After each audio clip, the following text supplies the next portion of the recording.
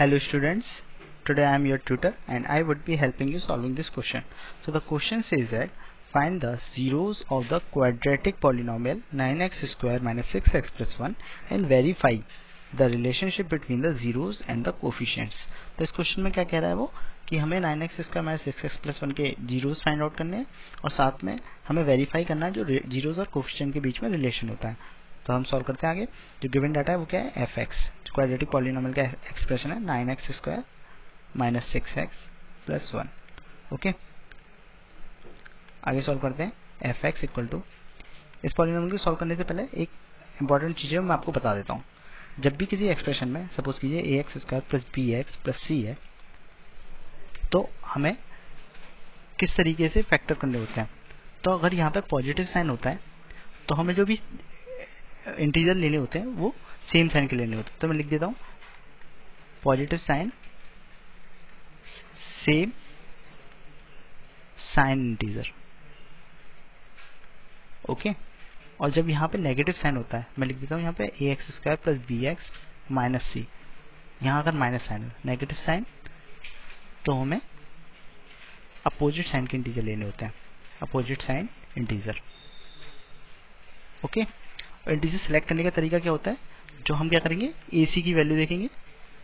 AC की value को देखेंगे तो उससे हमें डिसाइड हो जाएगा कि हमें कौन से लेने हैं। और साथ में हमें बी पे भी फोकस करना है। तो हम यहाँ पे देखते हैं इस वाले क्वेश्चन में कि किस तरीके से करेंगे। तो यहाँ पे क्या है? नाइन एक्स स्क्वायर तो हमें क्या करना है? नाइन का वन मल्टीप्लाई किया कितना है? नाइन और साथ में पॉजिटिव साइन है तो सेम इंटीजर तो नाइन कैसे आ सकता है? और सिक्स कैसे आएगा? सबमिशन के बाद। तो nine x square minus three x minus three x okay? तो थ्री इंटू थ्री कितना हो जाएगा? नाइन और थ्री प्लस थ्री कितना हो जाएगा? सिक्स और सेम क्योंकि पॉजिटिव था तो सेम साइन के साथ आने चाहिए थे। तो सेम साइन के साथ आए माइनस माइनस ओके? आगे सॉल्व करते हैं। F x equal to nine x square minus three x minus three x plus one f x equal to इसमें से हम क्या कॉमन ले सकते हैं? Three x three x minus one minus one three x minus one f x equal to three x minus one इसमें से पूरे में से three x minus one common आ जाएगा। तो थ्री एक्स माइनस वन अब, क्योंकि हमें ज़ीरो फाइंड आउट करने तो वहाँ पे क्या होगा? एफ़ एक्स की वैल्यू ज़ीरो हो जाएगी। F x equal to zero तो हम three x minus one into three x minus one को ज़ीरो के बराबर पुट कर देंगे। Three x minus one equal to zero और three x minus one equal to zero तो x equal to one by three और x equal to one by three तो हमारे पास जो जो हमें ज़ीरो फाइंड आउट करने थे तो उनकी वैल्यू वन बाई थ्री होगी। तो हम लिख देते हैं thus. The values of zeros of the given quadratic polynomial quadratic polynomial are 1 by 3 and 1 by 3 okay? This is our first part answer. First part answer. अब हम बढ़ते हैं सेकंड पार्ट की तरफ़, जहाँ पे हमें क्या करना है? वेरीफाई करना है relationship between the zeros and the coefficient तो सेकंड पार्ट की तरफ़ बढ़ते हैं। तो सेकंड पार्ट में क्या करेंगे? हम क्वाड्रेटिक पॉलिनोमियल है, उसको दोबारा लिख लेंगे।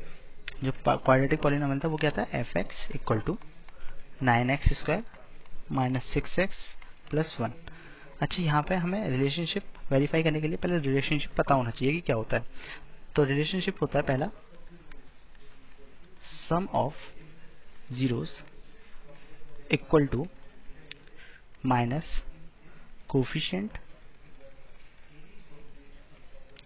of x divided by coefficient of x square okay और सेकंड रिलेशनशिप होता है product of root product of root वो बराबर होता है coffee constant term constant term divided by coefficient of x square तो हमें ये रिलेशनशिप है ये वेरीफाई करनी है। तो हम लिखते हैं, जो हमारे रूट्स आए थे, वो कितने आए थे? वन बाई थ्री और वन बाई थ्री तो हम सम ऑफ़ रूट्स निकालते हैं। लेट सपोज़ कि जो one by three one by three आते हैं, हम अल्फ़ा बीटा नाम दे देते हैं। Alpha equal to one by three and beta equal to one by three तो हम पहले रिलेशन को वेरीफाई करते हैं। तो अल्फ़ा प्लस बीटा कितना होना चाहिए था? इस वाले रिलेशन से minus coefficient of x coefficient of x कितना है? Minus six okay coefficient of x का नाइन ओके और अल्फ़ा प्लस बीटा की वैल्यू हम यहाँ से पुट करेंगे, जो हमारी कितनी आई थी? One by three one by three one by three plus one by three okay यहाँ से कितना आएगा? ये माइनस माइनस प्लस हो जाएगा।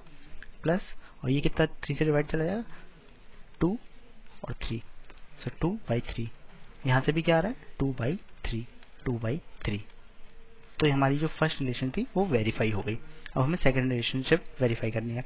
वो क्या है? प्रोडक्ट ऑफ़ रूट तो प्रोडक्ट ऑफ़ रूट क्या होगा alpha into beta constant term कौन सी है? कॉन्स्टेंट टर्म है वन तो वन लिख लेंगे।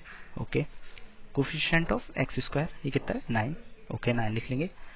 तो हम मल्टीप्लाई कर देते हैं one by three into one by three equal to one by nine one by nine equal to one by nine तो हमारी जो सेकंड रिलेशनशिप थी, वो भी वेरीफाई हो गई। तो हमारे पास दो पार्ट थे, दोनों पार्ट हमने वेरीफाई कर, वो कर दिए। एक में हमें फाइंड आउट करना था क्या? ज़ीरो की वैल्यू और दूसरे में क्या करना था? हमें वेरीफाई करना था रिलेशनशिप को। तो हमने दोनों कर दिया। सो दस, हम लिख सकते हैं finally thus thus we have verified we have verified the relationship between zeros and their coefficient. And their coefficients of the given quadratic polynomial so this is our second part answer second part answer second part answer and finally हमारे दोनों answer आ गए thank you students hope you got it